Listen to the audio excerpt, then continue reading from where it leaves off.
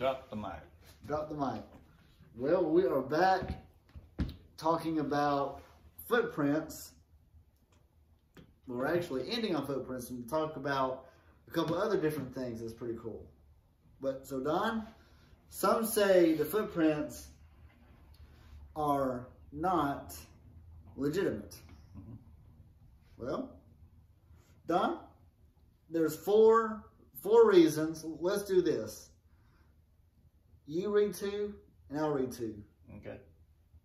Um, yeah, yeah, go ahead. Go ahead. The Bible says all life formed in six days. Human and chicken footprints have never been found in the same. What is that? Strata. Strata. Scores of people have have seen them and think that they are legitimate. Fourthly, the evidence. Again, the evidence is all. The evidence that some dinosaurs are still alive, so the footprints are irrelevant. Okay. Pretty basic. So, what about this, Donald? Seashells surround uh, surrounding the hammer have been dated 4,000 million years old. A hammer, Don? Mhm. y- You've used a hammer before. Mm, my fingers are well aware of it. Yes. So, so are mine. they, they're fully aware that I wasn't very good with it. yep. I hit the wrong nail. so the conclusion that they knew about brass, Genesis Mhm. 4, Sure did. and Zillah, and she also bore uh, Tubal Cain Mm-hmm. and instructor of every, All right. yeah, in, in brass and iron. Mhm. So they knew about all that stuff. and that's in Genesis. That isn't, yep, that is in Genesis. Um, here's a, a little bell that was found in a lump of coal. Textbooks say that coal formed 250 million years ago in the Carboniferous period Okay. after the dinosaurs. Okay. Yeah. Um, what do you think about that, Don? I think it's a bunch of bull. Is it science It's, or science fiction? it's science fiction. Yes, sir. So, Spock had pointy ears too. Yes, he did. yeah, you're right. On June 11th, 1891, the Morrisonville Times reported a curious find that brought uh, brought to light on Miss S.W. Culp um, last Tuesday morning as she was breaking a lump of coal apart and uh, embedded in a, a circular shape a small gold chain about 10 inches in length. That's, you know, 250 million year old coal? I don't think so. Here's a little, cast iron pot found in a lump, uh, in a lump of coal. Um, a four and a half inch high zinc, uh, uh, zinc and silver vessel found in solid rock that is supposedly, 600 million years old. yes sir, Okay. Um, this is a Nampa image that he's holding um, in Idaho. Photo taken in 2000. A clay doll was found that was supposed, supposedly 12 million years old. That's an old doll. Yeah. I, I- would say if it were 12 million years old, it wouldn't be, uh, Yeah. there wouldn't be anything in it. So they knew about steel tools. They, um, they they used them all the time. That you know the Rome, um, what are the the, uh, Egyptians? You know they they use them. You know back four or five thousand year, years ago. They knew about coal. Workers found human bones and uh, and a well temp, uh, tempered uh, copper arrowhead in a vein of silver at the Rocky Point mine in Gilman, uh, Colorado in 18, 1865. Things found in coal. In 1880, J.D. Whitney, the state geologist of California, uh, published a lengthy review of advanced stone tools in California gold mines. Interesting. The implements, including uh, spear points, uh, mortars, and uh, pestles. Very interesting. We found, uh, uh, they were found deep in, in mine shafts underneath thick layers of lava ranging to 9 to 55 million years old. 9 to 55 million years old. What do you think about that, Don? That's I don't think they were quite that old. I don't I don't think so either. At least 4,400 years old. Yeah. That's probably. estimated time for the flood. That's a closer guess. Yep. So, uh, far out adventures, uh, the best of the world explorer.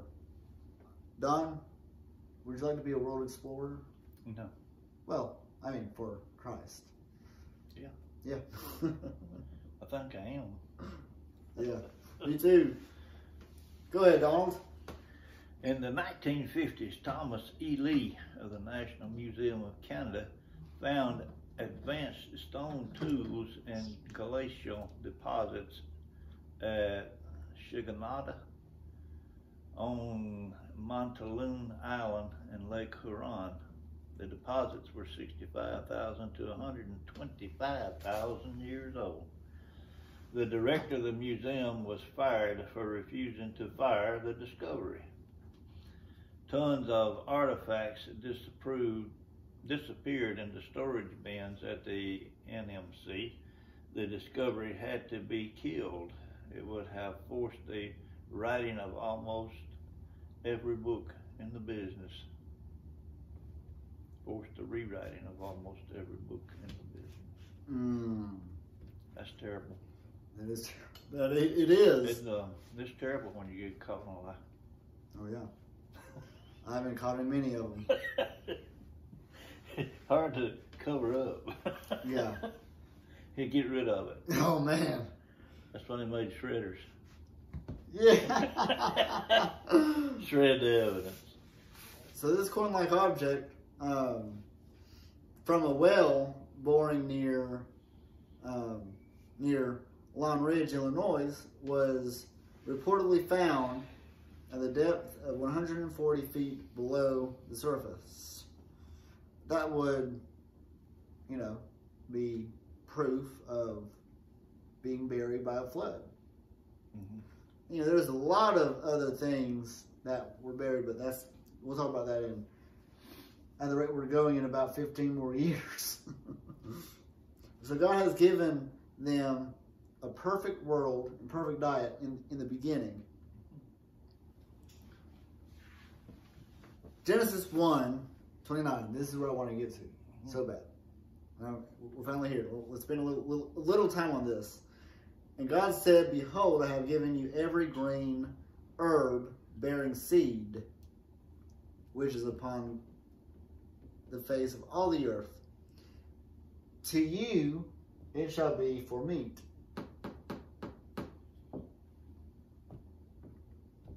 We don't do that. We eat the hamburger, Carbs. We eat tons of carbs. Yep, the hamburger, french fry, Mm-hmm. and the milkshake, and the Starchy diet, carbs. I love starchy carbs. yeah, and the Coke. Mm-hmm. Dr. Pepper. to be specific. Oh yeah, yeah. There you go. and here's a book on results of health and beauty by um, by following the Eden diet. Mhm.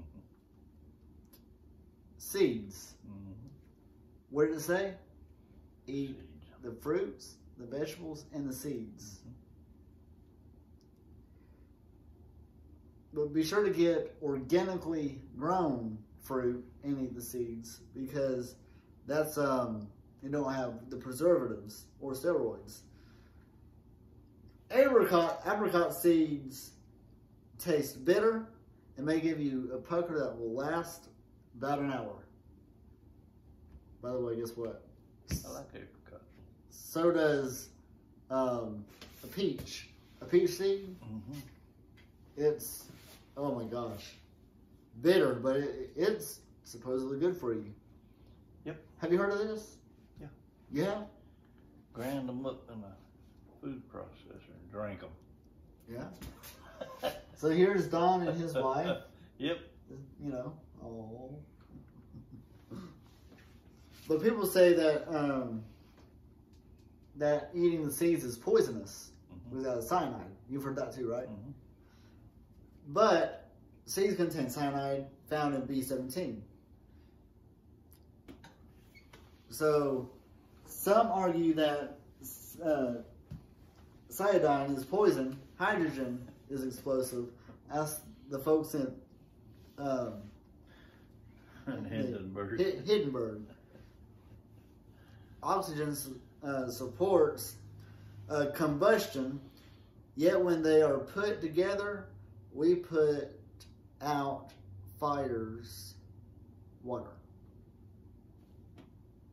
Big explosion. Mhm. So, Old without cancer. Now, wouldn't that be something? yes, sir. A lot of people lose a job. Oh, yeah. Big money. Oh, yeah.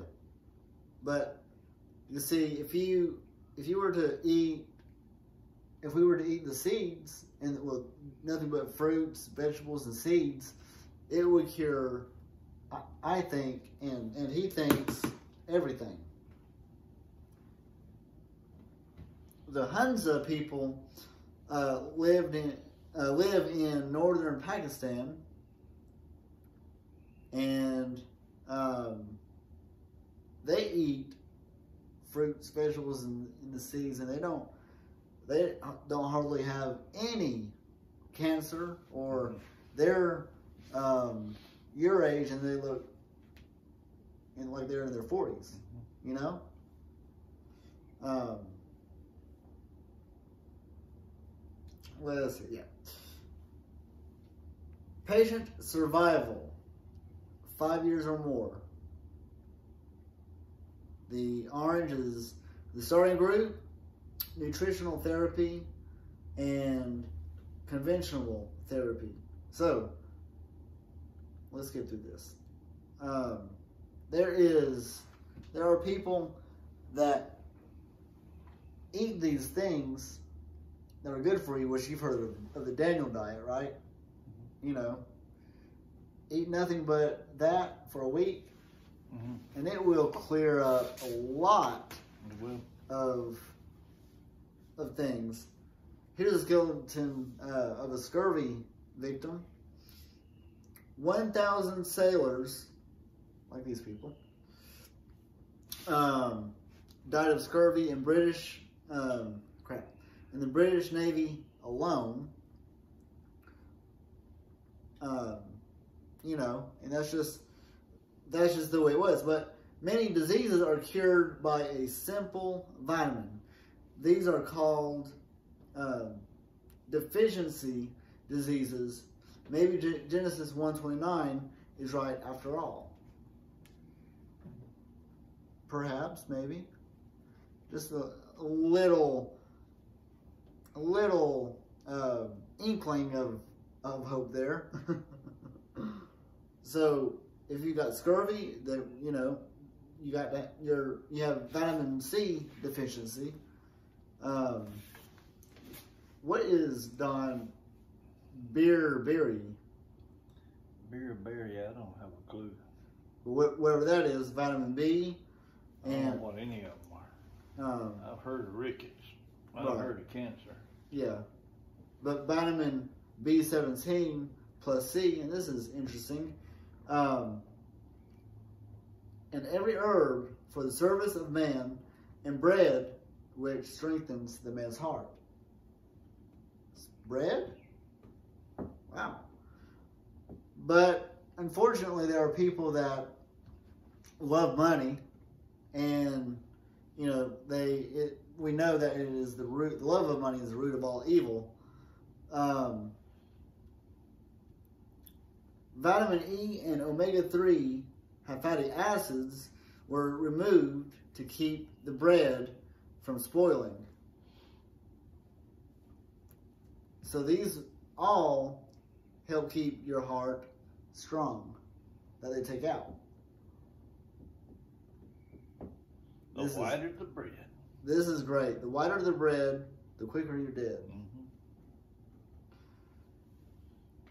So, let's see. Good boy, it's good stuff. Do what? It's good stuff. it is. Take two pieces of that white bread and throw a couple of slices of bologna between them. Oh my goodness. Oh yeah, yeah.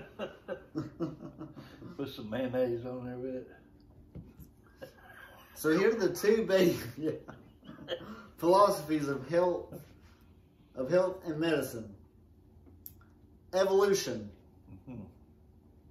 The body is a random collection of chemicals and formed, uh, uh, uh, formed by chance over billions of years. Diseases should be treated with drugs. Yep.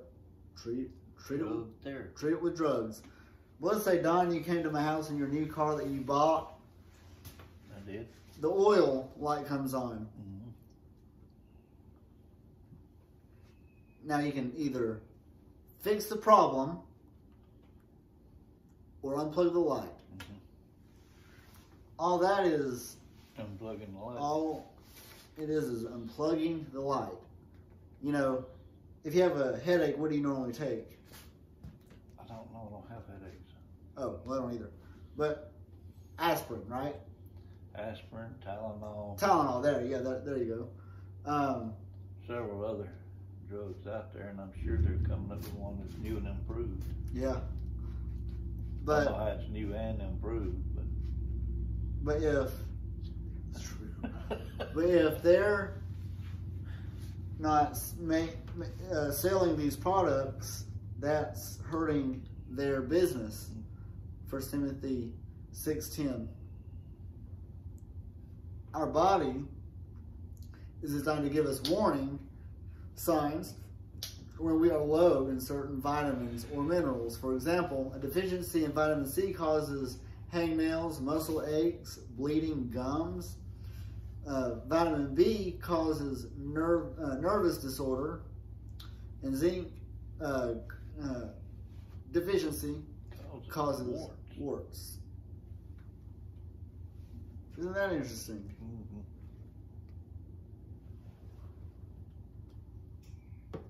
Notice that zinc. Where's that? Yeah, Zinc zinc causes warts. deficiency in zinc Mhm. causes warts.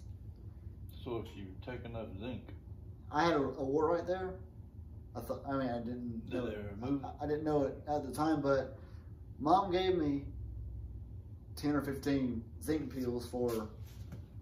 I was supposed to fight off the coronavirus. I mean, I didn't care about. I didn't care about that, but but that right there with zinc is is, is gone. Uh-huh. That's fascinating. They're saying a lot about zinc today. Yeah. It's supposed to be a pretty much a cure-all. Oh yeah. Here's a great book on on health and history. Uh, and there's a lot of lot of good good books you can get um, if you're interested about that. Knowledgeofhealth.com. Um, the American Voice, AmericanVoice.com. Um, and you know, and it's all, and especially this is exciting because, um, you know, It's just proving what the Bible, what Genesis is saying. You know, um, in the Encyclopedia Britannica uh, documents that in 1845, a young doctor named Vienna, uh, doctor in Vienna named Dr. Uh, Ignaz, um, was Yeah. yeah, okay, good. Was horrified that the terrible death rate of women who were dying after giving birth in hospitals, as many as 30% um, of those giving birth died. The doctor noted that doctors could would examine the bodies of these who had died, uh, then without washing their hands. Hmm. Um, go straight um, to the next wards and examine expectant mothers, and this was their normal practice because the presence of microscopic diseases was unknown. So, Doctor, his name, instead of uh, insisted that the doctors wash their hands before examinations, and the death rate immediately dropped down two percent. That's fascinating, isn't it? Mm-hmm. That's right. Go no, go ahead, Don. To honor this doctor for his great find, he was fired from three hospitals in a row, then committed to a mental institution where a patient murdered him. and every soul that eateth that which dieth, or that which was torn with beasts, whether it be one of your own country or a stranger, he shall both wash his clothes and mm-hmm. bathe himself in water and be unclean until the evening. Then shall he be clean. Yes, sir. Leviticus seventeen fifteen, three thousand years earlier. What do you think about that, Don? I think it's a good point. It is. I think you need to wash your hands Yep. Especially nowadays. and your clothes. yeah. Um, and on, on the creation side, the body was designed by an all-wise creator. He designed food to supply, uh, uh, food supply to provide our needs. Nutrition therapy. Oh, that's different than drug, drug therapy. Um, wait, did we, did we miss The any? body is a random collection of chemicals Yes, sir. formed by chance over billions of years. Yes, sir. Diseases should be treated with drugs. Yep. Drug therapy and nutrition therapy. Nutrition goes a long way. Yes, sir. So the average uh, deaths of herbs, zero. Dietary supplements, three. Other drugs, 320. Foodborne Ill- illness, 9,000. Correctly prescribed um, prescription drugs, That's- Ninety to hundred and ten thousand. that's that's the killer right there. Money. Prescribed drugs. So the two basic philosophies of law and government. Evolution. Laws come from man's opinion. That means that the rights are granted By the government. by the government. Government should be all power, uh, all powerful provider. Democracy always becomes what is that? Total- Totalitarian. That's right. Uh, Seventy to eighty percent of healthcare costs in America are from self-induced illnesses and accidents like smoking, drinking, Driving drunk. driving drunk, etc. Um, what do you think about that, Don?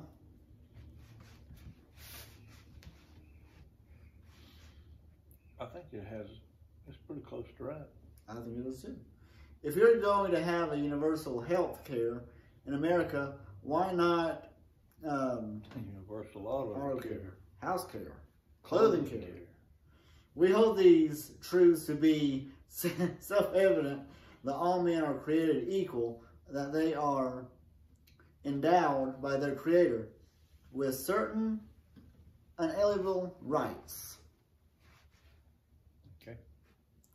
A must-read, Hush money. huh? Hush money. Hush money. Yeah. this is a must-read for pastors and ministry leaders. Don. You want to understand the issue of church sovereignty versus being a state church. Yes, sir. So, Don, go ahead and, and read the creation. Laws come from the Creator.